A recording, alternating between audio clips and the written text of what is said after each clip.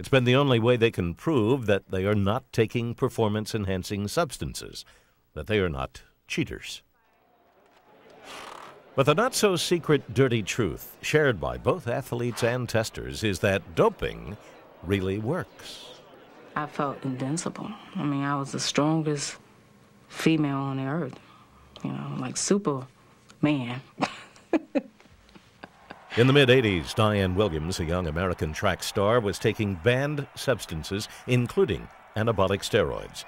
At the peak of her drug use, she began to notice major physical changes. I was a freak. I was like, mm. It was it was not a pleasant sight to me. Some of the changes were really defined muscle mass, uh, facial hairs, skin pigmentation, rashes, things like that. But for this highly competitive athlete, winning was everything, no matter what the cost. I really didn't have a lot of time. I had two years to really train and make the Olympic team. So even though I knew these things was happening to me, I said, well, okay, fine, I'm just going to take them anyway. Because that's what I needed to have in order to win. But after an inconclusive positive doping test, Diane Williams decided to try to race clean. She soon found out that she had become suspect. But once I got back in shape and ran very well, that's one thing people say, oh, she's taking drugs again. I'm like, look, test me anytime, any day, wherever. I'm clean. Trying to catch dirty athletes was Dr. Robert Voy's job when he was director of drug testing for the U.S. Olympic Committee back in the 80s. Is there a will in, in the IOC or in sport in general to, uh, uh, to find out what the incidence of drug use is and to sanction those that, that cheat? No, I don't think so. Uh, there is a tokenism that occurs. If you're a coach, if you're, if you're a manager, if you're an executive director of a sport, you don't get sponsorships if you have losing teams. It's very simple. It's money that's that that is the that's the key here, and the fact that the money comes from the fact that sports is such a great exposure for television. For television networks, just as for sponsors and athletes, the Olympics have become one of the biggest money making events on the sports calendar. NBC paid $3.57 billion for the rights to the Olympics through to the year 2008.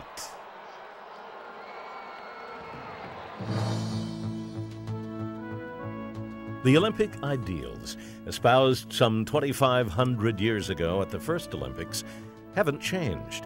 Neither have the problems of cheating athletes. For the sordid history of doping is as old as competitive sports and goes back as far as those first Olympics. Athletes then ate hallucinogenic mushrooms and sheep's testicles, believing they improved their performances. And just like it was for those ancient Greeks, today's athletes compete not just for glory, but for rewards. A gold medal around the neck still means gold in the pocket. Just as the gladiators used to use stimulants to entertain the crowd as they fought um, in the arena, so our own athletes are now being forced, in terms of entertainment, to take ever more drugs to perform a spectacle in front of the crowd. The huge rewards for coming in first make it awfully tempting for athletes to try anything to get an edge on their competitors. And that's where performance enhancing drugs come in. There are hundreds of doping substances available to today's athletes, everything from the masculinizing testosterone to the deadly blood doping agent EPO and to the potentially disfiguring human growth hormone. And then there's that perennial favorite, the drug of choice of doping athletes for nearly four decades anabolic steroids. When Frank Shorter, one of America's finest marathoners, was about to compete at the 1972 Munich Olympics, he got to see firsthand just how effective steroids could be. When I made my first Olympic team in 1972, we had a team meeting and I liked a beer or two, and I liked to sit at the back with all the weight men who are my buddies. So we were at the back of the room, and we had a team meeting, and the team doctor got up and told us we really shouldn't use steroids. And it wasn't because it had really been shown whether they were harmful uh, or not, it was because it had never really been shown empirically, clinically, that they had any effect to enhance performance. And I was at the back of the room with these weight men, several of whom got gold medals, and they immediately pulled out their before and after pictures and said, Here I am 10 months ago, here I am now. And this guy's telling me this stuff doesn't work. Steroids are used during training. They build muscles, they shorten recuperation time. It was something that throwers and weightlifters had known about since the 60s. By the time the Montreal Olympic Games were held in 1976, steroids had spread like a virus through the sporting world. And by this time, steroids had also joined the list of banned substances. These Olympics were marked by some stunning upsets, especially in the prestigious marathon race. Reigning gold medalist Frank Shorter lost to a virtually unknown runner from East Germany. East German athletes seemed to be winning everything. Overnight, this tiny country of 17 million had joined the ranks of sports superpowers. Athletes who competed against the East Germans felt something was going on. Sprinter Angella Issajenko was being consistently beaten by East German competitors, and she had her suspicions about why they were so powerful. You hear the rumors that all these people are on drugs. So in my mind, I'm thinking, oh my God, uh, if I'm going to Moscow to face these people, they're so amazing and they're all on, on, they're all doping then what chance do I have? Angella turned to her coach for help, Charlie Francis, a former Olympic sprinter who believed that steroids had radically tilted the playing field for all top competitors. The problem is to explain to someone um, do you set up your starting blocks at the line with all your competitors, or do you want to set them a meter behind? It's very clear that steroids are worth at least a meter. And can you afford to give away such a benefit to your opponents? When you have a situation where you offer an athlete only two choices, run clean and lose or take drugs and win, then of course the choices will be clear. All that was important to me at that point was that I was going to become as fast and as strong as I could possibly be to compete in the Olympics. In 1979, Angella decided to follow Charlie Francis's recommendation, and she added steroids to her regular training routine. It didn't take long to see the impact steroids had on her body. I put on muscle. I might have gained about 10 pounds. And what I also noticed is that my ability to work, to, to, to stay out there and work a lot longer was much better. I recovered much faster from the workouts. Charlie Francis made sure that she was on a controlled steroid program a program which she followed for the next nine years. As a woman, you take five milligrams of, of Dianabol a day for uh, maybe a six-week period to prepare you for the indoor season, and when that was over, you do another four or five weeks for the outdoor season, and that's what that was it. It wasn't this big, huge doses and, and, and, and long periods of time of, of doing them. Soon she began to win all of her Grand Prix meets. One of Angella's teammates who couldn't have helped but notice her impressive improvement was a young sprinter named Ben Johnson, and he too turned to his coach, Charlie Francis, for help. I just described the cost risk benefits. Made sure he understood that uh, this is something he keeps to himself because, you know, it's banned and he can make the decision what he thinks is the way to go. Part of the problem is the Olympic champion is the person who, when they're finished, gets all this money and all the, the, the sponsorships and, and, and all the commercials and whatnot. Not. Nobody is interested in the poor guy who comes second. When Ben Johnson stepped up to the starting blocks on that September day of 1988 in Seoul, Korea, he knew that the difference between coming in first and second was worth millions of dollars. They're away cleanly. Ben Johnson flying out of the block. Can Carl Lewis make up the deficit? Ben Johnson in the lead. Can he hang on? Yes, he's done it. Oh, magnificent. In those 9.79 seconds, Ben Johnson electrified the world. He demolished the 100 meter record. He was the fastest man in the history of the world.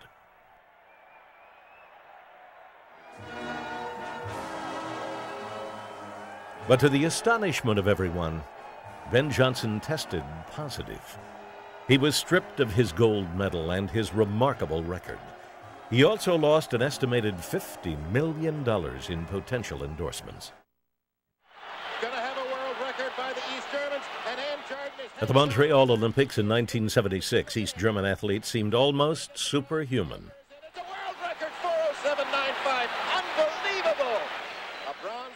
What the entire East German team had done was unbelievable. And as the athletes were preparing to return to East Germany with suitcases full of gold medals, the Stasi, the East German secret police, were also packing. Ten suitcases full of drugs, syringes, and test tubes from their clandestine lab in Montreal and dumping the evidence into the St. Lawrence River. After the collapse of communism, information about one of East Germany's most secretive state plans, the systematic doping of its own athletes, might have disappeared into the sea of shredded government documents now resting in the basement vaults of former Stasi headquarters, were it not for the investigative work of a molecular biologist, Dr. Werner Franke. And now I quote from their own reports an annual more than 2,000 young athletes entering the system. Yeah, so two, more than 2,000 were doped with hormones every year. So you can imagine over a period then of uh, 25 years how many cases there have been. You are looking at Kornelia Ender, the world record holder. The East German leadership believed that their athletes' victories on the sports fields would show the world the superiority of the communist system. So it was a very ambitious, all embracing state plan, starting with young kids, say at the age of seven or eight. If a child showed any sign of athletic talent on the track, or in the gym, or in the pool, he or she would be plucked out by party officials and placed into special sports schools. One of those children who showed exceptional talent in the pool was Carola Nitschke. Back then, swimming was my life. I didn't know anything else. I had always been at the top of my age group. I had always been one of the best. As she began to exhibit real potential, her team doctor and coaches started giving her little blue pills. She was told they were vitamins. They were, in fact, anabolic steroids. She was 13 years old. Certainly, there were things that we noticed. We were at an age when we should have been developing, yet none of us had breasts, and that was something that struck me as strange. And then my teacher commented in a frightened way that my voice had become considerably deeper. When I heard this, I was, of course, very concerned. Carola began to have misgivings about all of her vitamins and supplements. My suspicion and mistrust really began the next year when I was 15 years old and I was preparing for the European Championships. That's when the injection started. And shortly thereafter, I noticed that my body went through massive changes. My muscles grew at an extraordinary pace, and I became very suspicious. East German officials knew of other side effects from steroids. Young girls would grow excessive body hair. There'd be problems with their livers, kidneys, and menstrual cycles. But the officials kept all of that secret.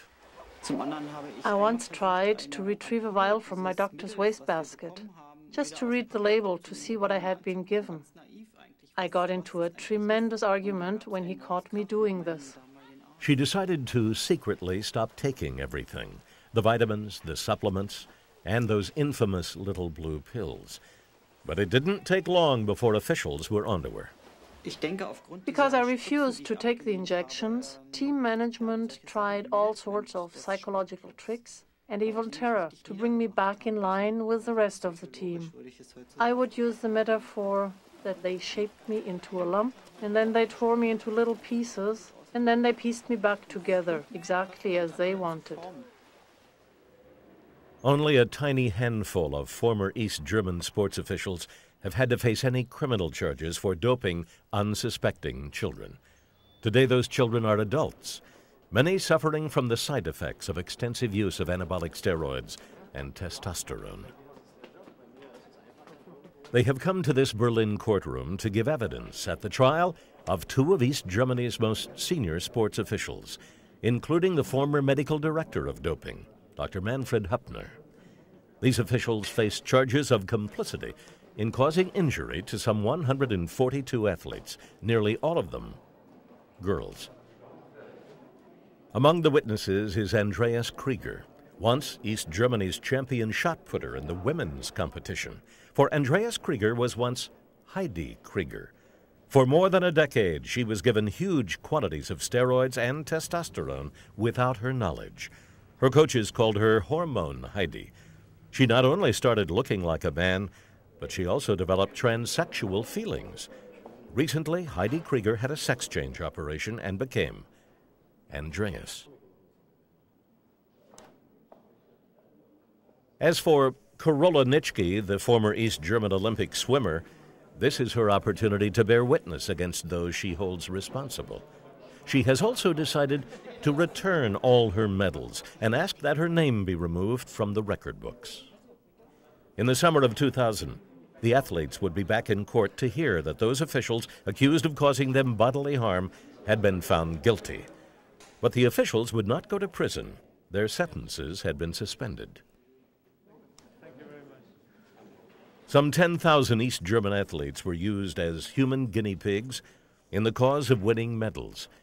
During the 20 years that the East Germans ran their doping program, not one of their athletes ever tested positive at the Olympics.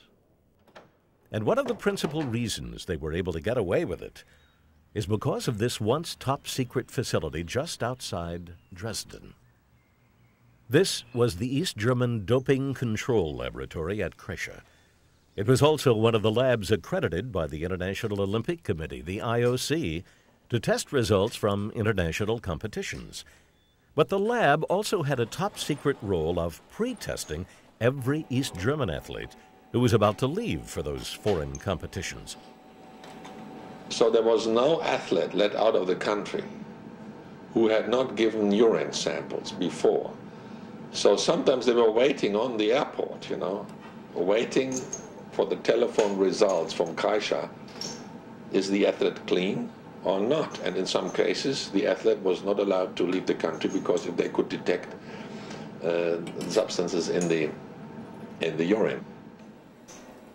The lab at Kreischa was designed to make sure that East German athletes would never test positive at any competition, especially not at any Olympics.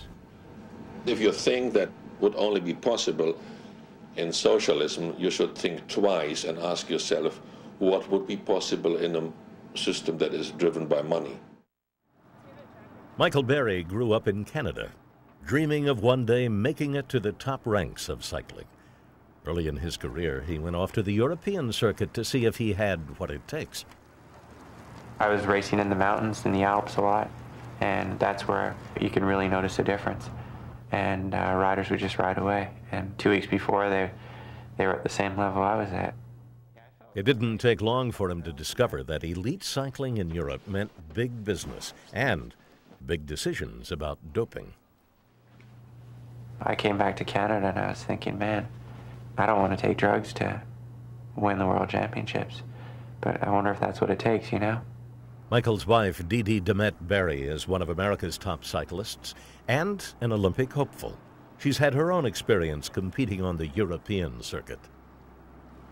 There's a lot of guys out there who look very short term, men and women both. They look very short term and they're willing to do whatever it takes to win the next race.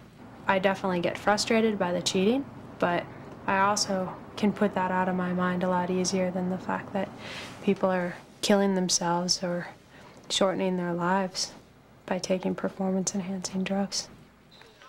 From its beginnings, racers have experimented with everything from strychnine to heroin to amphetamines to get any kind of edge over their competitors. More recently, a potentially deadly substance has become the drug of choice erythropoietin, commonly known as EPO. Originally developed to treat kidney disorders, EPO increases the number of red blood cells. It's become a cheater's dream boosting stamina, shrinking recovery time, and confounding most tests. But this wonder drug comes with a price it can kill you. Because improperly administered, it turns a person's blood into the consistency of honey, and the heart just can't take it.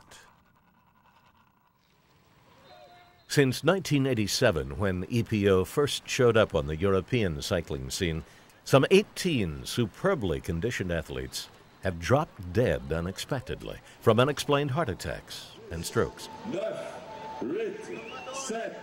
Part of Willy Voet's job as trainer and masseur of France's top cycling team was to make sure his cyclists had the right kind and quantity of drugs, enough to win, but not enough to kill. La course Bordeaux-Paris, donc c'est une course qui est très longue. It was the Bordeaux-Paris race, which is 600 kilometers long and lasts approximately 12 to 13 hours. So there was no time to prepare the, um, uh, the cyclist before the, uh, the start of the race. During this race, Willy Voet forgot to inject one of his cyclists. Voet chased after him in his car, and when he finally got alongside him, shouted to lower his pants. The cyclist was um, bent over his bicycle, so it was really easy. I, I, leaned out of the car and I had my the syringe ready in my hand, so I jabbed him into the, the buttocks, and that was it. In 1998, as the Tour de France race was about to start, Willy team was favored to win. Voet was in on a secret that might explain why they were such heavy favorites. We had uh, three uh, cyclists that didn't take any, um, any drugs at all. And since we had 24 cyclists in the team, that means 21 people were taking drugs. But then Willy Voet was unexpectedly stopped by border police. When he opened the trunk of his car, he exposed one of the greatest doping conspiracies in sporting history. I had uh, doping products. I had approximately 200 to 300 EPO ampules. I had testosterones. I had masking products. And it was my responsibility, not the doctor's responsibility. Voet was arrested, and so was the team doctor. The Festina team was thrown out. The tour collapsed into chaos. Six riders admitted to police that they were taking drugs. And that was the irony of it all. It wasn't the Cycling Federation who caught the cheats. It was the police. Last year, Willy Voet published one of France's best sellers. In his tell all book, he revealed secrets of the doping world. One of the more unusual tricks to fool testers was to have the drug taking cyclist shove a condom filled with clean urine up his anus. When testing time came, he would release the clean fluid through a rubber tube that was glued underneath his penis, camouflaged with pubic hairs. Uh, then, when the cyclist is standing in front of the um, physician performing the check, he simply removes the plug and empties the condom. In all the times his cyclists used this bizarre device, no one was ever caught. Everybody used doping. Everybody. In my career, I met two, two guys didn't use it. Only two guys. Everybody, 100%. Erwann Mentheour was a teenager growing up in France when he decided he wanted to be a champion cyclist. I understood very early that doping was a part of the job. And uh, I was a little bit frightened because I, I, I had already heard many things about EPO, many things, many accidents, even death. I've been talking with guys in the group, and they explained to me that I didn't have choice. As soon as Erwann started taking EPO, he saw almost immediately its impact. It was incredible. It changed your body, it changed your heart, it changed everything to make you become a great rider, a machine, Robocop. I had more money, more fame, more results, more everything. I couldn't think that it was dangerous. I didn't want. But Erwann didn't stop with EPO. For two years and a half, I used amphetamines, cortisone, testosterone, anabolics, gonadotrophin, growth hormone, recombinant, EPO, growth factor. When you take these products, you see your body changing. And you feel it inside of you. I remember nights where I was for two or three, three hours, headache. You fall down, it hurts a lot, a lot, a lot. You feel that your head's gonna explode. Your kidneys are like two condoms full of water, and they move inside of you. You have rheumatism in, in your hands, in your legs. The almost daily ingestion and injection of a virtual pharmacy of doping substances was taking its toll on Erwann's body. The day before a big race, I was, I was reading in my room, and I had a, a nose bleeding. All, all me, blood, everywhere. And that time, at that moment, I felt that something was wrong. Maybe I was mistaken. And then one day he failed to pass not a doping test, but a health test. For his own well being, he was suspended for 15 days. Erwann Mentheour then decided to retire, never having failed a doping test. They are searching what we're not taking. And we've taken one can, what can't be found. Wes Barnett is a six time U.S. weightlifting national champion, a two time Olympian, and a world champion medalist. There is such an emphasis placed on winning that uh, people are willing to die uh, to win.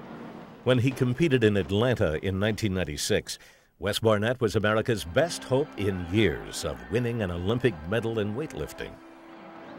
When I finished uh, Atlanta, I, I, was, I, was, in sixth place.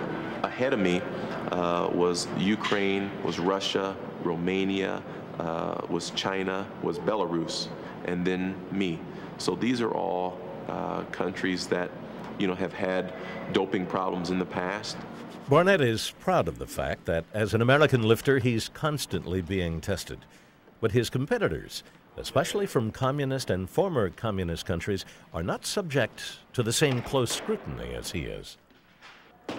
We have here at the uh, USOC uh, what's called no advance notice testing, or the athletes call it the knock and pee test, where uh, they come to your home, they come to your work, they come to your school, uh, they come to your training session uh, anytime they want. And they show up and say, I'm, I'm here to test you. And I had 13 of those last year. At the Atlanta Olympics, 2,000 out of 11,000 athletes were tested. Two were announced as positive. Could it be that everyone else was clean? Not likely. By and large, the whole testing procedure for doping rests on a foundation built on urine, but urine testing is far from infallible.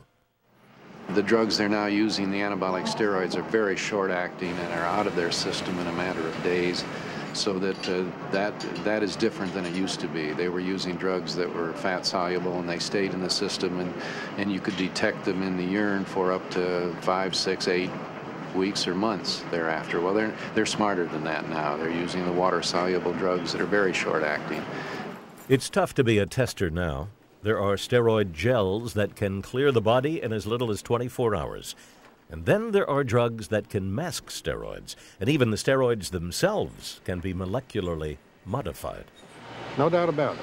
A clever individual, the individual who's well coached, not necessarily by a traditional coach, but by a scientific coach, can find ways to take drugs and subvert the testing. But the real Achilles heel of testing is that there are doping substances that just don't show up in urine. At the IOC sanctioned drug testing